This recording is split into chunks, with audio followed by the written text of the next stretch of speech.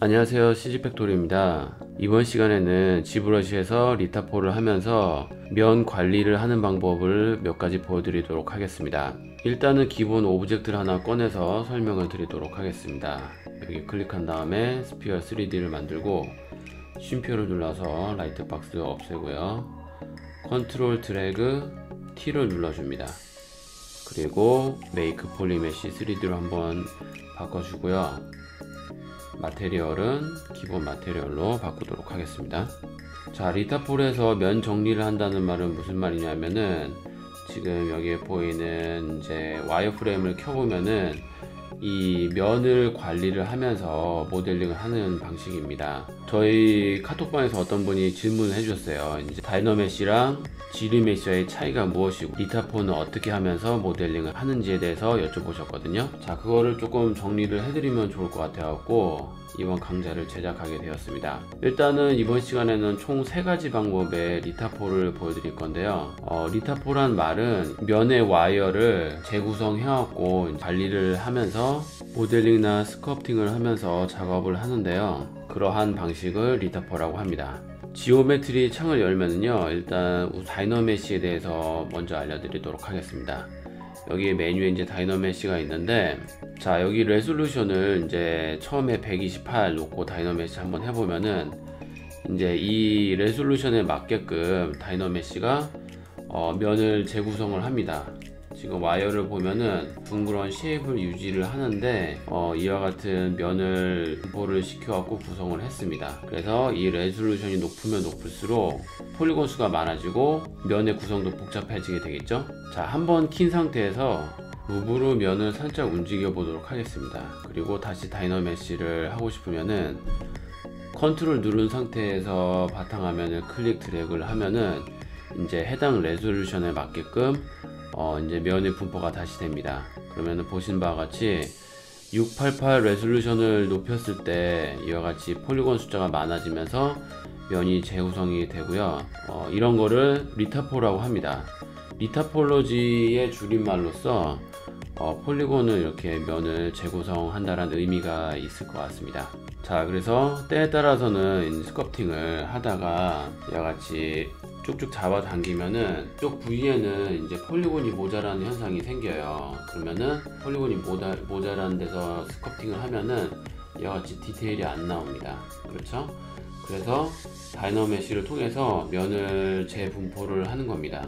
자 이런 식으로 wireframe을 확인해 보면은 이와 같이 이제 polygon이 다시 많이 생겼, 기 때문에 이곳에 이제 디테일을 표현을 할 수가 있겠죠? 근데 주의해야 될 점은 초심자분들이 DynaMesh를 통해서 무작정 resolution을 많이 높인 다음에 작업을 하시는 실수를 범하시는데 초반에는 이런 기본 shape이나 형태를 잡을 때는 최대한 낮은 resolution에서 기본 폼을 잡고 진행을 하시기를 권유를 드립니다. 예를 들어서 어떠한 이제 캐릭터나 object를 만들 때 이와 같이 기본 형태를 어느 정도 다 잡으면서 해당 resolution을 높여가면서 작업을 하시기를 권유를 드립니다. 자 그 이유는 뭐냐면은 polygon이 너무 많아지면은 폼을 다시 형태를 잡을 때 불편해져요 지금은 resolution이 낮으니까 polygon 수가 그렇게 많지가 않으니까 기본 형태 잡는데 매우 수월합니다. 이런 move tool로도 간단하게 이제 기본 형태를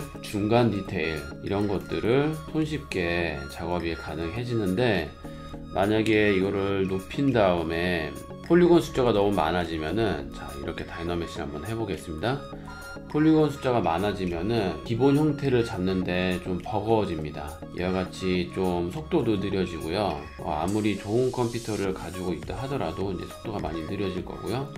그리고 이제 표현하는데 특히 중간 디테일을 표현하고 형태를 잡는데 제한이 많이 있을 수가 있습니다. 그래서 기본 형태를 잡을 때는 resolution을 최대한 높게 한 다음에 기본 형태를 잡으시면서 진행을 하시기를 권유드리고 어느 정도 기본 형태가 잡혔다 하면은 subdivision을 높여 갖고 subdivision을 관리를 하면서 작업을 하시기를 권유를 드립니다. low 단계가 있고 low 단계에서는 돌아가서 이제 또 나중에 수정할 때 기본 형태를 잡, 잡고 그 다음에 이제 subdivision을 높여 갖고 작은 디테일들을 넣을 수 있는 방식으로 작업을 하는 것을 권유를 드립니다. 그리고 이제 밑에 있는 ZRemesher는 차이가 무엇이냐면요.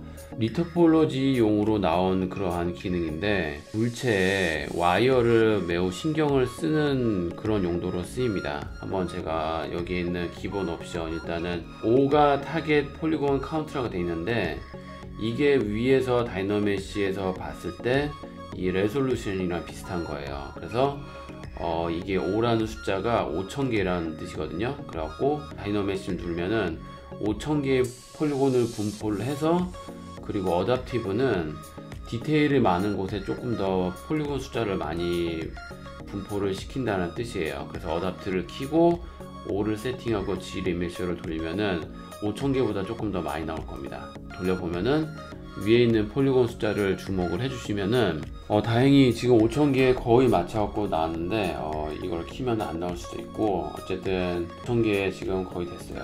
이제 DynaMesh 했던 거랑 이렇게 비교를 해보면은 ZRemesher는 최대한 형태의 그런 굴곡들을 따라서 이 와이어를 구성을 해줍니다. 캐릭터의 얼굴이나 와이어를 신경을 많이 써야 되는 모델링 같은 경우에는 G 리메셔로 미타포를 해주고 이제 low를 만드는 게 좋아요. 그래서 나중에 제가 기회 되면은 게임 asset용으로 low를 만드는 것도 알려드리면 좋을 것 같은데 지금 단계에서는 이런 차이점 알고 계시면 좋을 것 같고요. 자 그리고 마찬가지로 이제 low가 형성이 되면은 여기서 이제 또 기본 쉐입을 만져주면서 모델링을 하시면 좋습니다. 그리고 기본 형태가 완성이 되면은 아까와 마찬가지로 이제 디비전을 높여가면서 이제 조금 더 디테일을 추가를 하면서 계속 이렇게 올리시면 좋습니다. 그래서 또 한번 강조를 해드리지만 이렇게 로우가 있는 게 좋아요. 모델링 할 때. 왜냐면은 언제든지 다시 내려가고 기본 형태를 잡으면서 수정을 해야 될 때가 있거든요.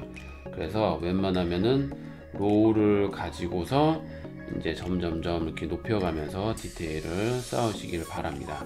만약에 DynaMesh로 이제 기본 sphere나 이제 기본 mesh로 시작을 하고 sculpting을 하다가 이제 low가 없잖아요. 이제 DynaMesh로 polygon 숫자를 많이 하면서 이렇게 작업을 했는데 low가 없을 경우에는 이러한 ZRemesher 같은 걸로 low를 만든 다음에 다시 subdivision을 높여갖고 어, 작업하는 방식으로 이렇게 하시면 좋을 것 같고 그리고 마지막으로 또 이제 retopo를 하면서 작업을 하는 방식에 대해서 알려드릴 건데 어, 이 기능은 최근에 들어서 새로 생긴 기능이에요. 무엇이냐면은 여기 위에 있는 Activate Sculptris Pro 모드라는 거를 켜보면은 사용할 수가 있는데 자 이렇게 일반 브러쉬를 사용하면은 어, 이런 에러 메시지가 뜹니다. 일단은 multiple subdivision이 있으면 안 돼요. 그래서 delete 하거나 더 subdivision level을 해줘야 됩니다. 그래서 둘 중에 하나를 하라고 했는데 자, 이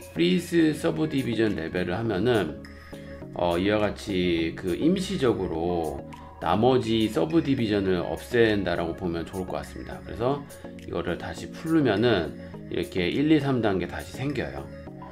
또는 2단계에서 Sculptris Pro를 사용해 보고 싶으면은 아깝지만 delete lower를 해갖고 어 이제 사용해 볼 수가 있습니다. delete lower를 하면은 제가 그 강조했었던 low 단계가 없어지기 때문에 좀 단점이긴 한데 어 만약에 굳이 이 activate Sculptris Pro를 할 경우에는 low를 여기에 있는 ZRemesher나 DynaMesh를 통해 갖고 low를 다시 만들어 갖고 사용하시기 바랍니다. 어쨌든 지금 저는 이 Sculptris Pro를 설명드리기 위해서 밑에 있는 subdivision 단계를 지웠고요.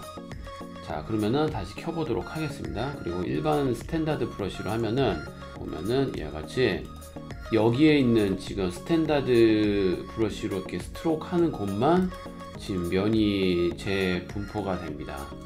자 그래서 어떻게 보면은 부분적으로 retopo를 하는 거라고 볼 수가 있겠습니다. 자 근데 이게 또 주의해야 될 점은 브러쉬들 중에서 되는 브러쉬 있고 안 되는 브러쉬도 있어요. 예를 들어서 제가 move를 선택을 해서 보여드리면은 move는 이 Sculptris Pro를 사용할 수가 없습니다.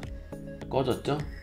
자 그래서 standard 브러쉬나 이제 사용 가능한 브러쉬들만 이게 활성화가 돼요. move 브러쉬가 안 되기 때문에 Snake Hook으로 바꿔보면은 이 활성화가 돼 있죠 그래서 Snake Hook으로 이렇게 해보면은 Move는 이제 retopo가 되지가 않는데 Snake Hook으로 한 곳은 이렇게 retopo가 됩니다. 이런 식으로. 그래서 이제 polygon을 전체를 retopo를 하기를 원하지 않을 경우에는 이렇게 부분적으로 디테일을 추가적으로 이렇게 표현을 할 수가 있습니다. 자, 이제 눈 디테일만 어, 좀 넣고 싶다. 그러면은 어, 이런 식으로 smooth도 돼요. 그래갖고 어, smooth로 먼저 이렇게 한 다음에 이제 polygon이 많아졌죠?